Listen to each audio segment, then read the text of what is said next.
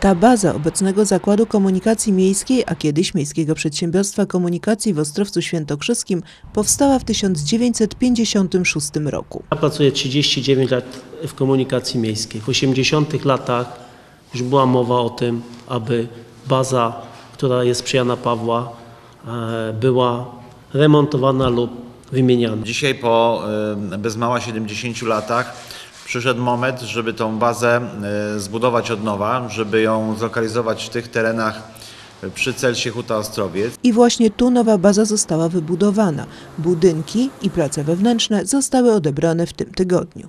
Udało się to w idealnym momencie zakontraktować. Udało się to y, zlecić i wybudować. Miesiąc temu oddaliśmy inwestycję. Była realizowana bardzo trudnym, ciężkim czasie.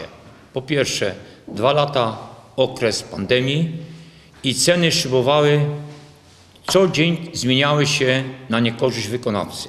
Na terenie nowej bazy znajduje się m.in. budynek warsztatu o powierzchni ponad 800 m2, myjnia o powierzchni prawie 350 m2, a także budynek o powierzchni ponad 400 m2, tak zwany administracyjny.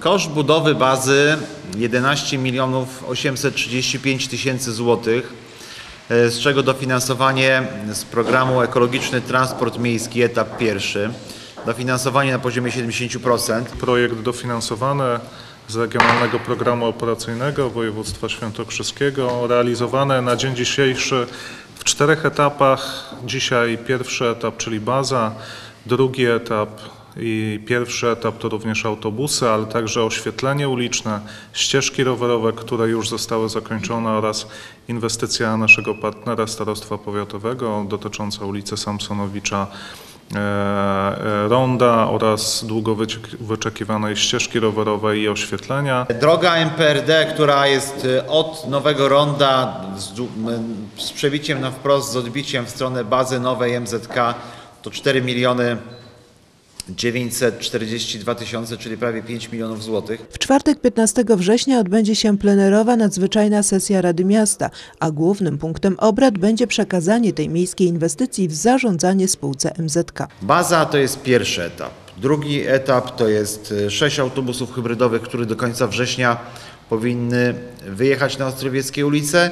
Do końca października powinniśmy mieć 9 sztuk autobusów z silnikiem diesla z normą Euro 6 i w styczniu 8 e, niskopodłogowych, niskopodłogowych autobusów elektrycznych. 23 nowe autobusy wkrótce powinny wyjechać na ulice miasta. W planach jest jeszcze zakup 9 autobusów elektrycznych. Przeniesienie e, bazy i przeniesienie załogi, a mamy świetną załogę i tutaj na ręce pana prezesa Jarosława Kateusza i dyrektora Stanisława Choinki chcę podziękować za współpracę też załodze.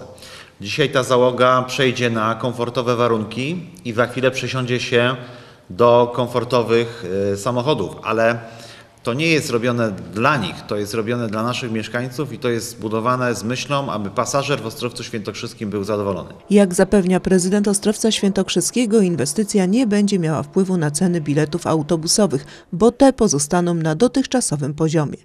Planowana jest korekta rozkładów jazdy, tak aby uwzględnić nową lokalizację bazy, która znajduje się w strefie przemysłowej i sąsiaduje z wieloma firmami.